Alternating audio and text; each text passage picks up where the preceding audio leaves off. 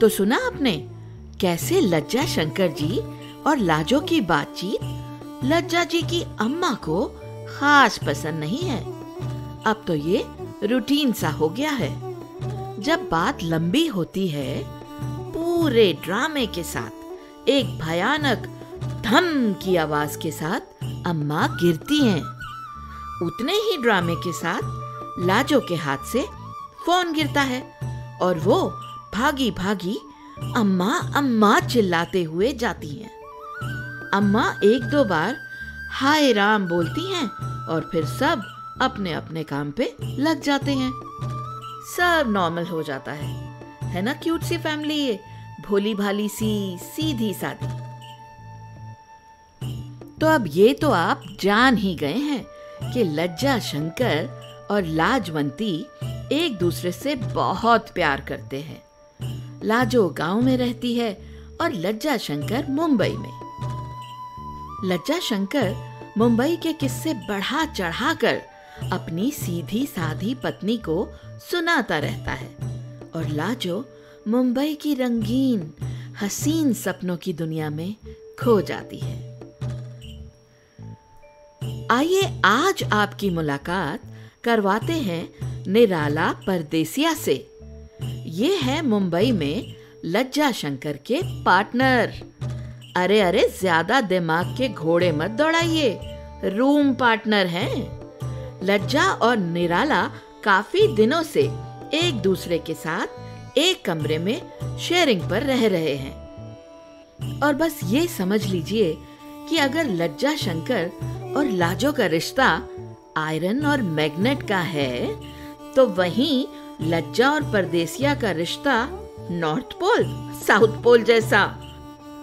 वैसे आज किसी बात पर आ, मेरा मतलब है आज फिर किसी बात पर लज्जा शंकर और निराला परदेसिया में बहस हो रही है। सुन लो निराला विदेशिया तुम्हारे चक्कर में इस बार फिर किराया देने में देर हो रही है। मकान मालिक का चार बार फ़ोन आ गया है। तुमको हम पचास बार कह चुके हैं कि किसी भी हाल में दस तारीख तक आधा पैसा दे दिया करो किराए का। तुम्हारे भेजे में बात नहीं घुसती है? अरे शांत गदाधारी भीम शांत। पहली बात तो ये कि हम निराला परदेसिया हैं विदेशिया नहीं। और दूसरी बात यह कि इस बार तुम संभाल लो ना लज्जा भैया। वो एक जगह से पेमेंट आने वाला है तो हम अगले सप्ताह वापस कर देंगे। बिल्कुल। सुनो पहली बात तो ये कि परदेसिया विदेशिया दोनों का एक ही मतलब है। और दूसरी बात, ये कि ये जो तुम गिरगिट के जैसा अपना रंग बदल के हमको बटरिंग करते हो ना जी, ये हम सब बूझते हैं। अपनी सिमो आ जाएगी तो लंच, डिनर से लेकर सिनेमा तक का पैसा आ जाएगा तुम्हारे पास। और किराया देने में नानी मरती है तुम्हारी। अब मरी हुई नानी को दोबारा क्यों मार रहे हो लज्जा भैया, हैं? सिमो की बात अलग है, आप नहीं समझोगे तो कौन समझेगा, है? आपकी लाजो मेरी सिमो। आप ही के नक्शे कदम पे है एकदम। साला तुम भी नमवा भी ऐसा खोज के लाया है उसका। चलो जाने दो अब। अब तुम इमोशनल कर रहा है हमको। ठीक है किराया अगले सप्ताह तक दे देना। अब ज़रा मकान मालिक को बता दें कि तुम्हारी नानी मर गई है। इसलिए किराया थोड़ा लेट होगा इस बार। अरे लज्जा भैया कितने अच्छे हो तुम। अच्छा एक बात बताओ। चाइनीज़ प्रोडक्ट्स बेचना तो बंद कर दिए। अब क्या नया बिज़नेस शुरू कर रहे हैं? चूना लगाने का। हाँ ये काम आप अच्छे से कर सकते हो। कहाँ किसको चूना लगाओगे भैया? अबे स्टूडियो के बाहर पान बेचेंगे पान मीठा पान चूना लगा के। वाह ज़बरदस्त आइडिया भैया। पूरे देश में ये सुपर हिट बिज़नेस है। देश की बात करता है रे विदेशिया। अच्छा तुमको मालूम है इस दुनिया में कितने देश हैं? देश तो एक ही है ना भैया भारत। क्या बकता है? नाम विदेशी और जी के एकदम लुल। अरे जी के लुल नहीं है भैया। बहुत साल आई का बैंक का टीचर का परीक्षा दिए हैं। हाँ। कुछ ऐसा बताओ जो हमको नहीं पता। ये कमवा तो यूपी बिहार का हर बचवा करता है। इसलिए तुम्हारी परीक्षा हुआ गुल क्योंकि तुम्हारा जीके है लुल। अरे नहीं भैया। देश तो एक ही है भैया।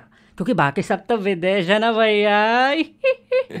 निपोर लो और निपोर लो दांत इसीलिए नहीं हुआ तुम्हारा सिलेक्शन किसी परीक्षा में। बहुत स्मार्ट मत बनो।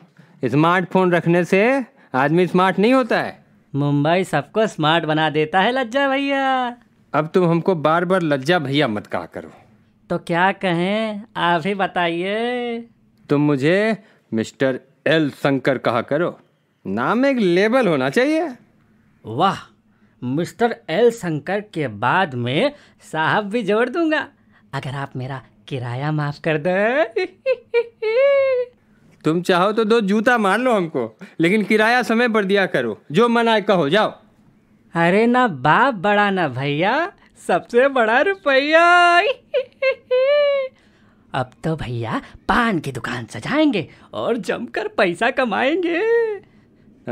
खाए के पान बनारस वाला। अरे इस गाने का रियाज करना होगा। पान बेचने वाला भी एक कलाकार होता है। जानते हो? जिस तरह से कोई चित्रकार कोई चित्र बनाता है ना या कोई कवि कविता लिखता है वैसे ही एक पान वाला भी पान लगाता है। अरे गजब भैया। आप तो एकदम प्रेमी पान भंडार को भी फेल कर देंगे। हाँ। ये सब हाई लेवल की बात है। तुम नहीं समझोगे निराले? चलो अब जरा काम पर जा रहा हूँ। शाम को बात होगी। अच्छा भैया राम राम। जय शिव शंभू।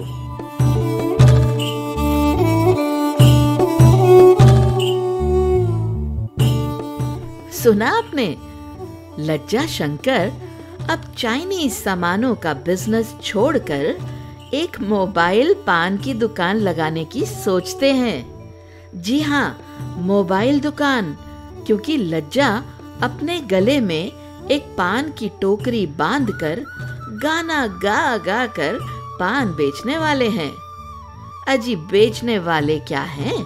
बेच रहे हैं। कई दिनों से। सुनिए, वो रहे लज्जा शंकर। मुंबई के सबसे फ़ेमस स्टूडियो के बाहर, जहाँ दिन भर कई टीवी और फ़िल्म स्टार्स ऑडिशन के लिए शूटिंग के लिए आते रहते हैं। वैसे तो लज्जा शंकर अपने बिज़नेस के लिए कोई दूसरी जगह भी तलाश सकते थे, लेकिन उनका दिल तो फिल्मी दुनिया में ही लगता है ना? अब तो कई दिन से लज्जा की चलती फिरती पान की दुकान यहाँ चल रही है। कुछ ही दिनों में लज्जा शंकर ने अपनी बात और व्यवहार से अपना बिज़नेस खूब चमका लिया है। उनके पान दूर दूर तक फ़ेमस हो रहे थे। लेकिन उसके बाद भी लज्जा शंकर बहुत खुश नहीं थे, क्योंकि उन्हें अक्सर लाजो की याद सताती रहती। अब तो लाजो को याद करते हुए कविता भी लिखने लगे हैं। आज निराला विदेशिया को वो अपनी कविता सुना रहे हैं।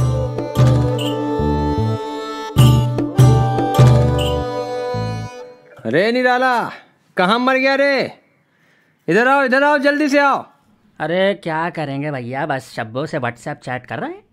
लिखती है कि वो मेरे बिना बिना पानी के मछली की तरह तड़प रही है। सब्बो अब ये कौन है बे? सिम्मो दीना तेरी बदल ली क्या? हो हो भैया अरे वही है अलग अलग नाम से बुलाता हूँ उसे हम्म? अच्छा अच्छा बताओ तुमने क्या जवाब दिया व्हाट्सएप चैट का? हाँ तो उसने कहा कि मेरे बिना बिना पानी के मछली की तरह तड़प रही है। मैंने कहा कि हम शुद्ध शाकाहारी आदमी हूँ तुम मछली नहीं तितली हो। और तुम क्या हो बे?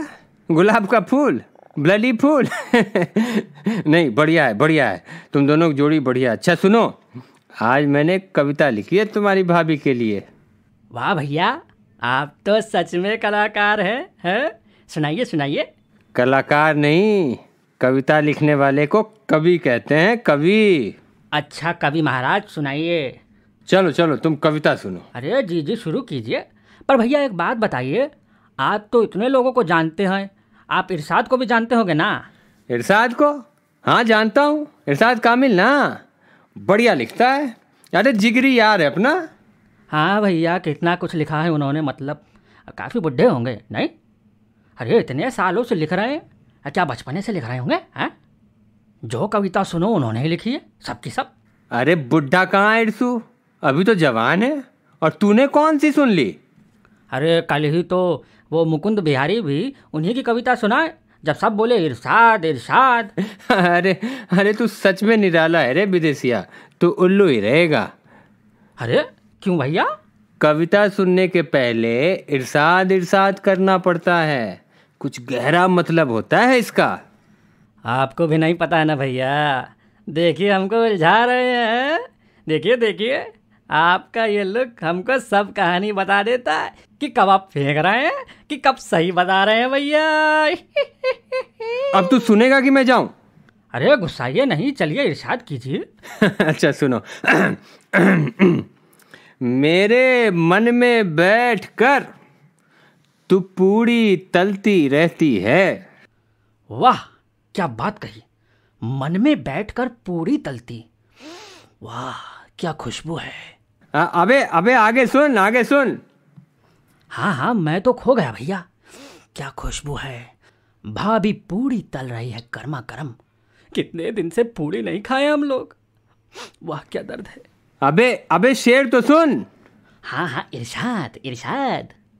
मेरे मन में बैठकर तू पूरी तलती रहती है। तू दूर रहकर भी समझ जाती कि मुझको भूख लगी है। वाह वाह वाह वाह वाह वाह। कमाल ही कर दिए हो लज्जा भैया। यही तो प्यार है। बहुत गहरा प्यार। वाह भैया। आगे आगे क्या है? आज तो एकदम पूरी खिलाई दीजिए। सुनो सुनो सुनते जाओ।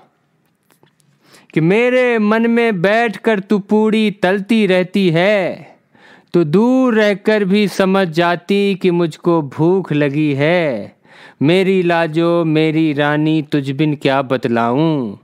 जीना कब का भूल गया, बस साँसें चलती है। मेरे मन में बैठ कर तो पूरी तलती रहती है। वाह भैया, वाह, मज़ा आ गया।